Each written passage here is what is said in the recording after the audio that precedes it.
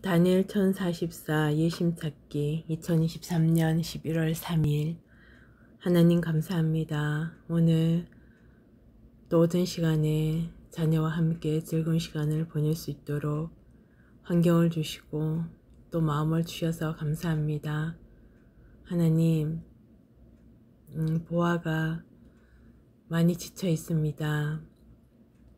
그리고 육신적으로도 많이 힘들어 합니다.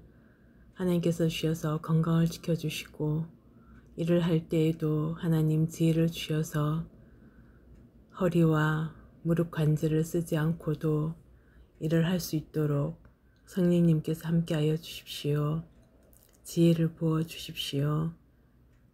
아버지, 이 일을 언제까지 할지는 아주 정확하게 알 수는 없지만 그러나 일을 하는 동안에는 건강을 아버지 지켜주시고 실수도 지켜주십시오. 예수님 이름으로 기도합니다.